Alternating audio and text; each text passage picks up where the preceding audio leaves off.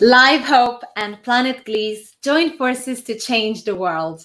Live Hope is supporting communities globally, including the indigenous tribes from New Zealand, Australia, Africa, Asia, South America, and the Native Americans. The pandemic worsened their situation, and Live Hope is helping with food, supplies, and medical necessities.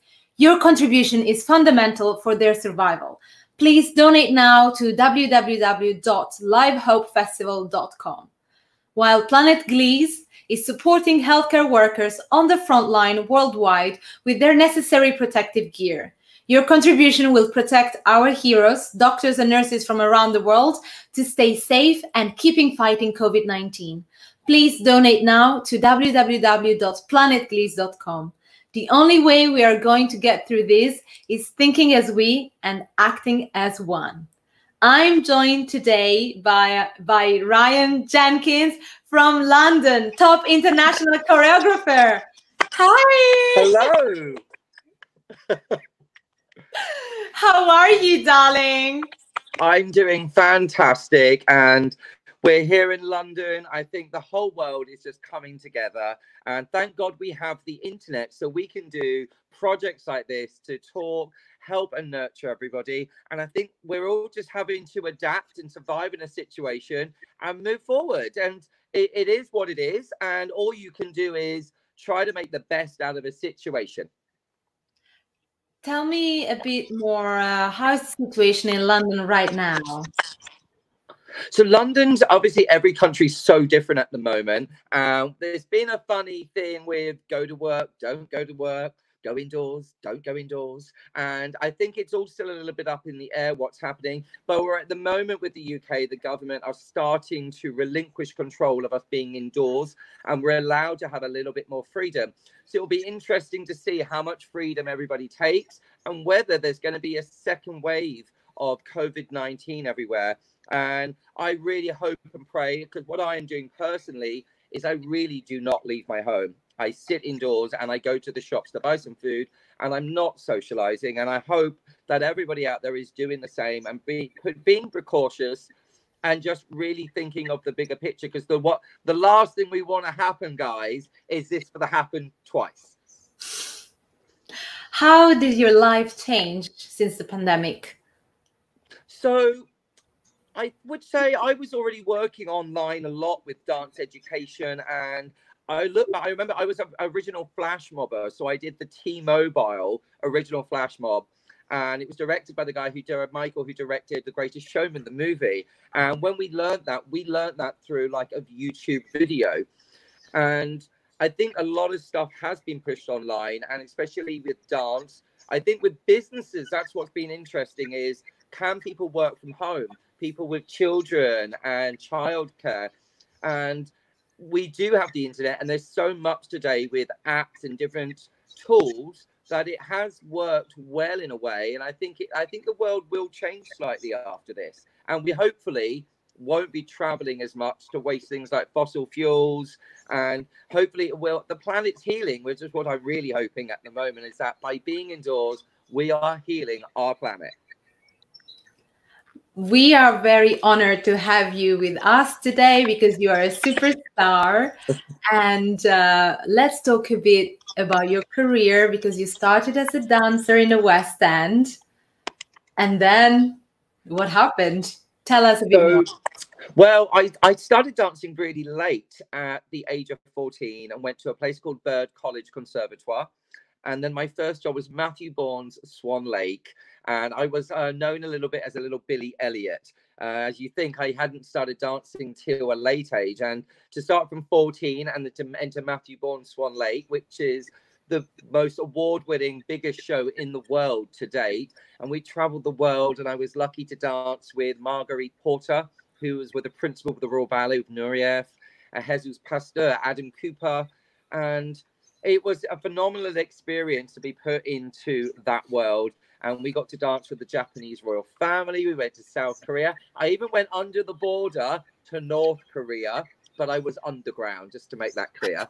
Uh, but that was wonderful. And then I managed to do loads of other shows. But for my first show, to say to do something so iconic in your career, it was really hard to surpassed that. So my level of achievement of what I always wanted was high. I also heard that you were nominated for three Oscars. Well, not personally. uh, I am in a three time Oscar nominated movie, which was directed by Joel Schumacher, choreographed by Peter Darling, and it's Phantom of the Opera. And uh, yeah, so I'm part of the team that was nominated. So it's a weird thing for my brain to go, I'm not personally, but I am in a way. Like I'm involved in something. I'm, I was involved in a project that is Oscar nominated, which is, and it was my first Hollywood movie. So to have that is, it's like one of those boxes you tick and go, wow, what's the next? Um, am I going to win one? and I also know that you collaborate with TV shows, with BBC and companies. Tell me more. So yeah, I work with Simon Cowell, and I used to work on Britain's Got Talent, which obviously in America is America's Got Talent. And my job is to find the talent in the UK and try to find the right acts and take them into the producers. And I also work on a TV show. We just had Todrick Hall, which everybody loves Todrick, and he was here in the UK working on the new show, the second season. And my job was to work on that as well. I work for Lifetime TV, so I'm friends with Abby Lee Miller and I'm the choreographer for the UK season so for Dance Moms. Nice. And you also represented England in Milan. I did. So each year, there every four years, like the Olympics, it's something called Expo, and it's bringing together the governments of the world about world healing, economy, health, and the last one we had was in Milan, and I was asked to represent the UK basically for National Day, and I had to go into the UK government, and we were working with the Prime Minister, and I had a whole team of people. About 20 people were sat at the table each day discussing themes and ideas, and I had to create a show that went to Milan, and they performed for a week, and then I did um, a fashion show for Paul Smith in the Emporio Armani tent, and that was for the ambassador to Italy and the Lord of. It was, it was one of those iconic moments to say that I was asked to represent my country and showcase it to the world. So very, very proud. What a glamorous life. I try. so, and you also work with the royal family. You know, here in America, everybody goes crazy for the royal family. I've done a few things for the royal family, yes. Um, I was commissioned to do my own photo shoot for my own company at Hillsborough Castle in Ireland. And then I have done choreography at St. James's Palace for the royal family. And then Prince Andrew also came to one of my productions, which I did with a friend of mine, um, Anthula Papadakis and uh, Vernon uh, Mound. And yeah, that came and we had a conversation. And it's very weird to go into the royal residence and actually work for them and learn the protocols. And again, it's just one of those amazing honors to know that you've been asked to go and do something for the family that represents the United Kingdom. Tell me a bit the protocol, what people have to do when they meet the royal family. Well, what's the big one? Is it mom or ma'am when you meet the queen? Yes. What's the protocol? Like, what did you have to learn? Well, I never got to meet the Queen, but uh, there's just a few do's and don'ts um, of obviously you don't put your hand out to shake anybody from the royal family unless they offer it. You don't really speak unless you're spoken to, because when you think they're very, very, very busy, and when they're standing and, and there's you've got all the crowds and audiences stood there, and there's hundreds of people, and normally ask you like to wait, and if they would like to have a chat with you, they would but they can't chat to everyone because the whole evening would go mad and things like you're not allowed to you're not allowed to take your phones in sometimes and you're not allowed to take pictures because you have to remember that the Windsor family is a family and they're a working family in the public eye and they do it every day.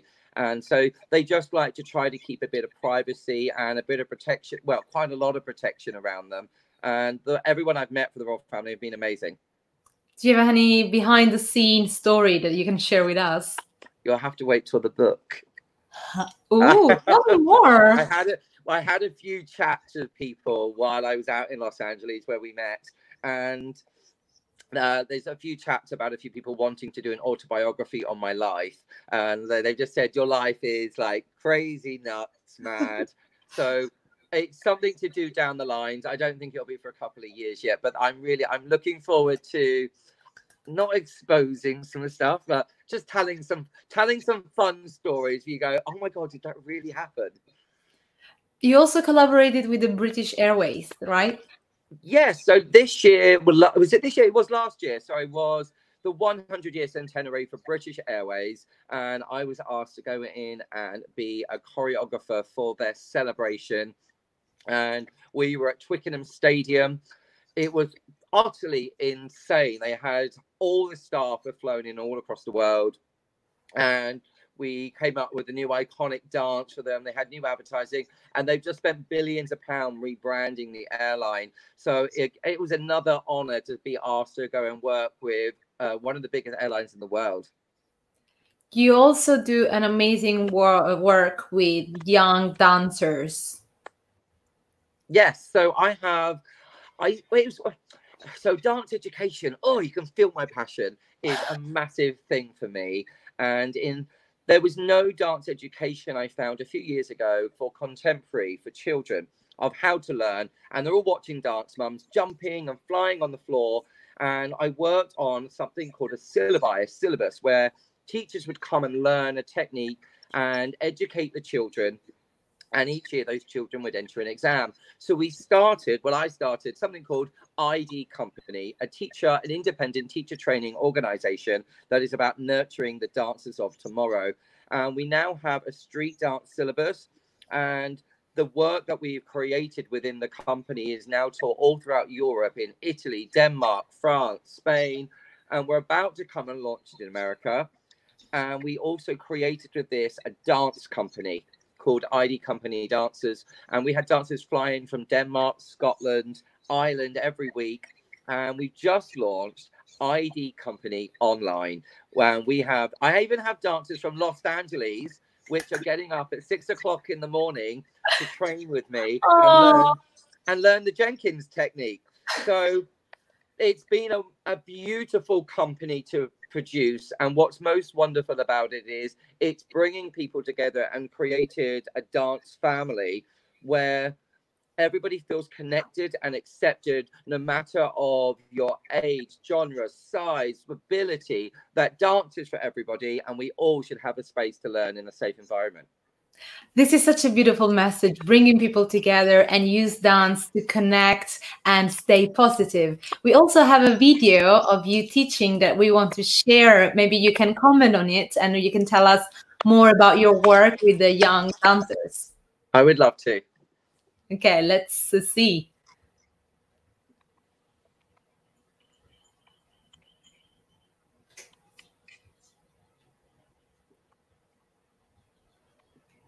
And so it's the contemporary syllabus video that we're gonna yes what just you were talking about. So this is a teacher training course that we offer, and this is showing experts excerpts of the teacher training course just to give people an insight to how we do. We're actually doing a new teacher training course, which is of this online next weekend, the 24th, 23rd, 24th, 25th, uh, which people can apply for at www.id-company.co.uk. Check it out, and yes. And it's learning from the best. And it's worthwhile. I was looking for something new and I really feel like I found it. I feel full of inspiration to take home to my dance school. I've just learned so much in so short amount of time and I feel so inspired. I think we've been given the tools to allow the students to really enjoy it. Ryan is so inspirational. It really inspired me and I think I've grown a lot. Our syllabus includes many styles from Horton Technique, Cunningham, Graham. If you like contemporary dance, then this is for you. The dancers that have learned our syllabus have gone into the biggest contemporary companies in the world. Join ID Company! Oh, that's lovely to watch. nice. Uh, big thank you to uh, Matt Wheatley from JH Media, who does all my filming and all my editing. So thank you, Matt. I love all the work that you do for the company. Give us some behind the scene of this um, company and what moves you to work with young dancers. I find so many young dancers just want to achieve and things are changing. The world has changed a lot. When um, I was a finalist on So You Think You Can Dance about 10 years ago now, I actually have my golden ticket here. Um, oh. when I did So You Think You Can Dance, it wasn't about acrobatics and it wasn't about turning. And now it's starting to include all of this. And with teaching, it's about giving teachers the tools to learn to teach new techniques and that's what the company is about is about nurturing teachers so they can still facilitate dancers and with the use of the internet when i go back 10 years ago there was no instagram there was no tiktok we was we went to a dance class and did ballet jazz and tap but now you've got to learn street dance contemporary acrobatics stretching so the company is about enthusing teachers with knowledge to empower them to be the best that they can be. And it's worldwide. We're well, we're about to go worldwide. We're coming, we're doing a big launch in Los Angeles.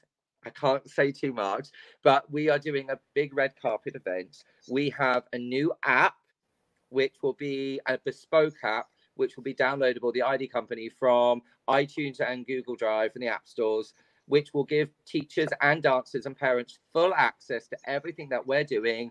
We'll be offering live classes on the app. And when I get back to Los Angeles after lockdown, I'm inviting all of my celebrity friends, and we are doing a rooftop red carpet event, and we're going to go full out.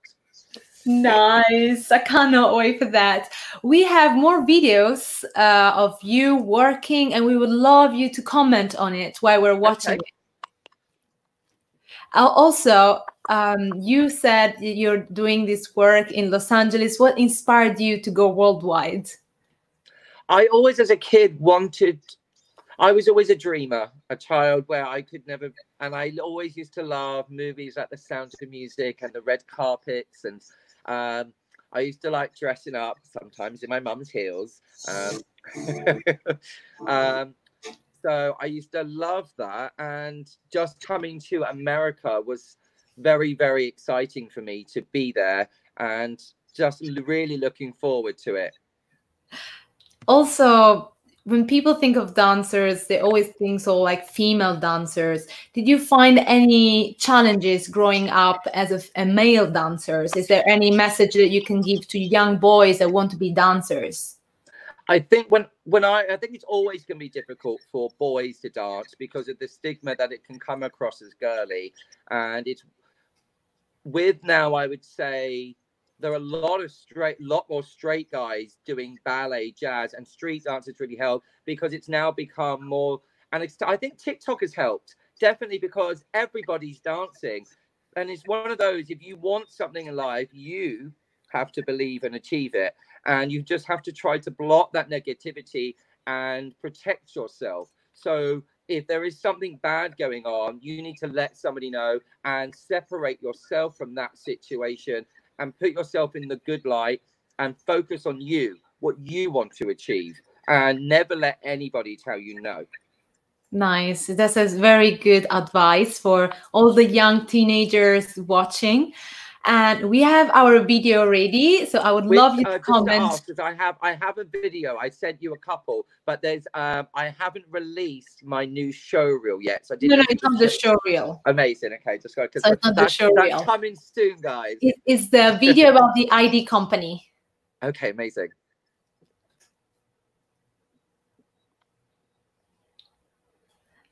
That's the company that you just were talking about. So we wanted yes. to show uh, a bit more. Fantastic. Yeah, we're, we're looking forward to coming to America and doing a big this tour. This is by far the best summer school I've been at. Of course, Ryan Jenkins is a character.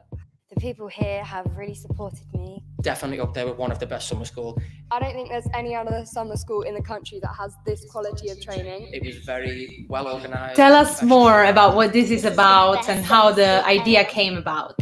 I love working with Ryan. It's been so four years ago, I created an international summer school, which we now have dancers that travelled from Israel, the Philippines, Singapore, Italy, France, and we bring in the best of the best. People working professional choreographers, and we give the children complete freedom at summer school to do whatever they want to do. And but when you get in class you work hard. And then we do like fashion fashion lady gaga disco parties where they dress up with tin foil then we did an all white party and each day we encourage the children to make friends. And we also taught them things about how to take a good selfie how to do video editing how to take a picture because those are the skills as well as dancing children now need to learn how to promote themselves on social media. So we made it all inclusive teaching everything. And yeah they just so we, let's see let's see more let's see more. how he'll correct okay. them and how it will be it will be positive and constructive but firm and what you know kind of what they need to hear. I've loved being with ryan. He's like a ball of energy to have around. Working with ryan jenkins is absolutely amazing. His energy is just so contagious. You can see that he does everything with the most amount of love and commitment it's been amazing to work with different choreographers. I've made so many new friends. The atmosphere here is just so friendly, so supportive. You meet so many new people. I think all dancers around the world should come to this summer school. Ryan has got so many different people in from all different backgrounds, which is exactly what kids this age need. The environment at the ID Company Summer School was exactly what you would want from a summer school. The kid, the younger kids all had chaperones. Everyone was ushered to and from the studios. And in terms of the range of practitioners that uh, Ryan knows and the ID company has at its, its disposal, is second to none the choreographers that Ryan Jenkins is bringing in is just phenomenal. I would recommend this summer school because it's just such a lovely atmosphere here. It's really nice to be a part of things that you take for granted. There's the ballet bars there. The floor suits any different style of dance. It's, it's one of the best, you know, national and international venues for a young dancer to come to. Yeah, I think it's very important that people should come to this. I can work it double-handed. Yes. Work it. oh, I love that. So work it because you're worth it.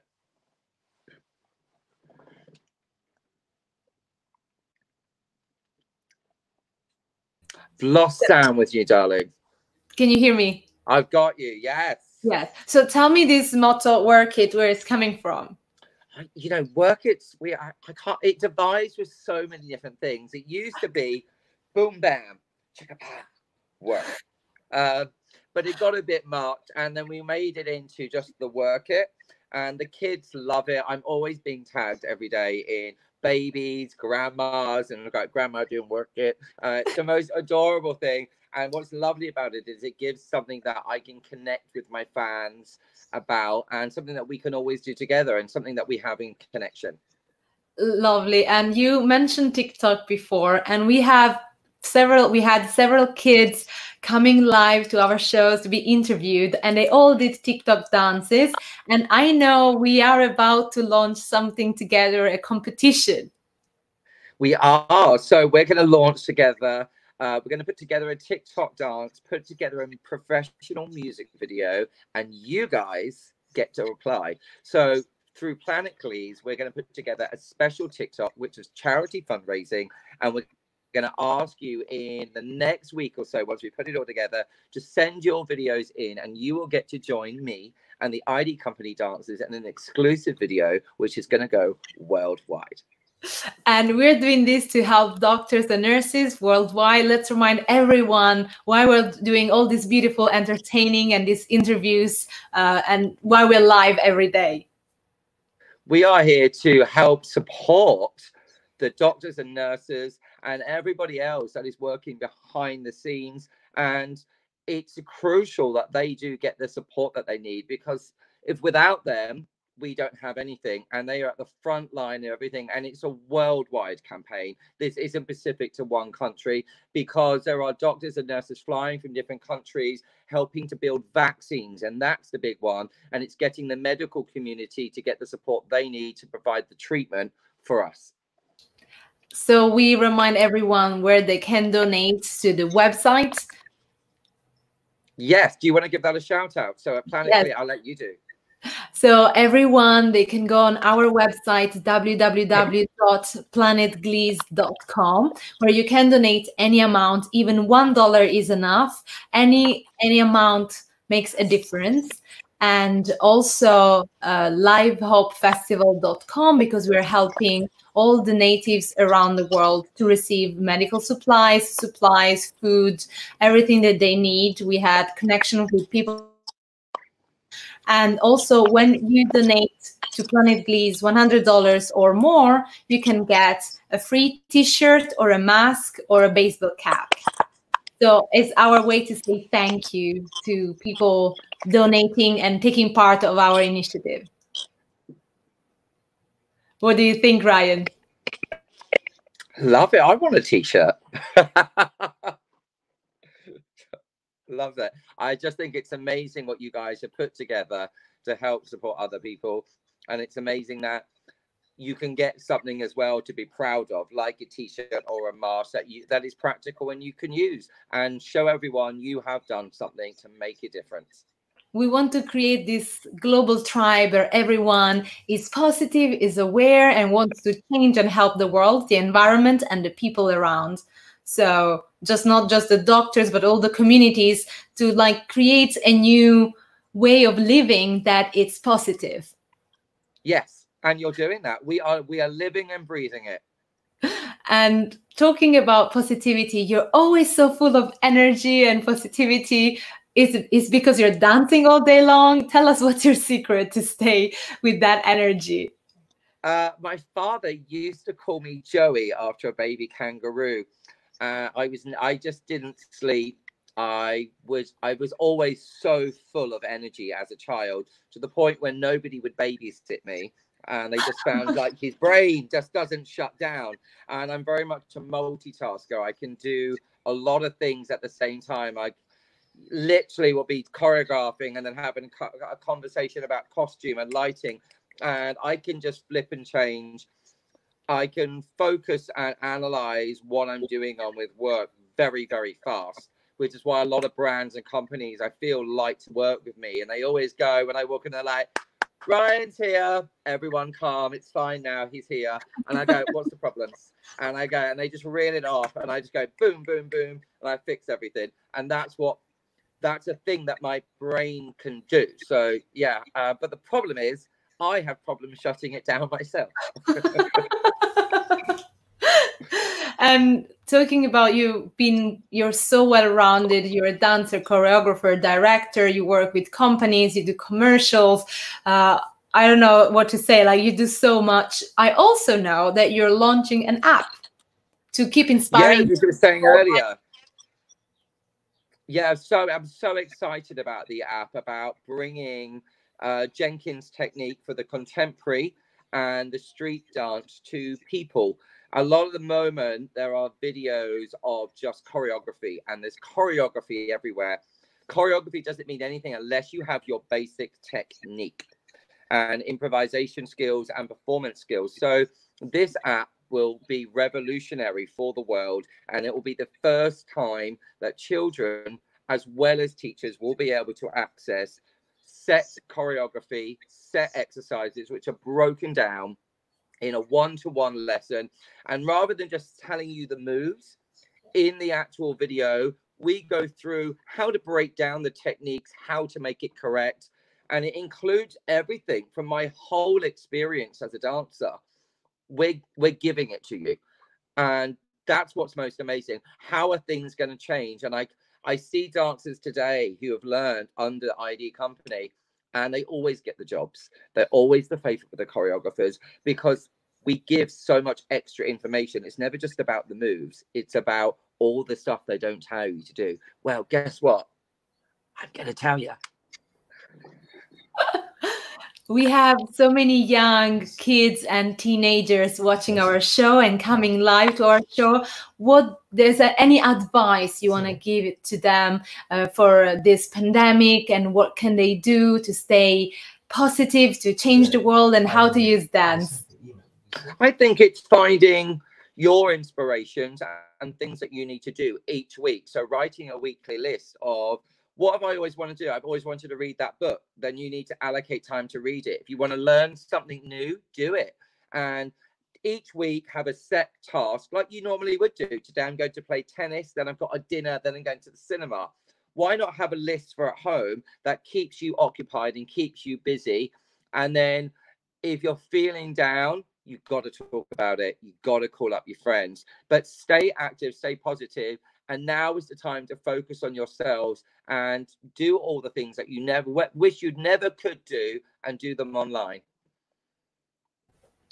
Is there anything new that you've been doing now that you have more time at home? Yes. For myself, no, I'm busy getting this app ready. uh, I'm busy doing the app. Uh, we have a new music video coming out. To we're working. We're doing the, with the song "Blinding Lights" with the ID Company Online Dancers, which we're very excited for, and a lot of charity, a lot of free. I'm working with Capezio Dancewear, doing a lot of free classes with them.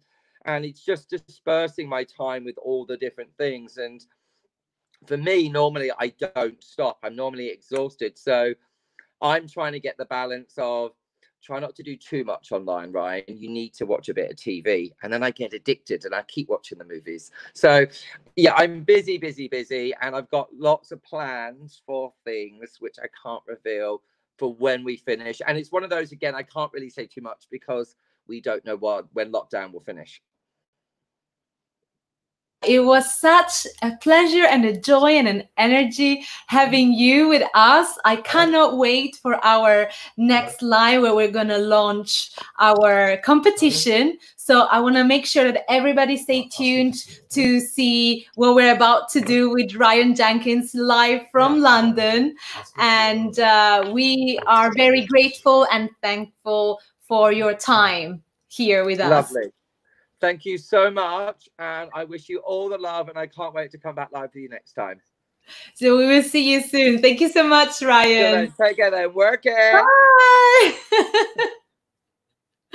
There was the top international choreographer Ryan Jenkins live from London, sharing his life and what he's been doing during the pandemic. We're gonna launch launch a competition soon um, with you guys for a TikTok dance to do something creative together. We want to involve you while raising money to help people around the world, the doctors and the indigenous communities. So please, I want to remind you, your support is fundamental. Go donate to www.planetgliese.com and to www.livehopefestival.com. Thank you so much for watching and we'll see you soon live. Goodbye.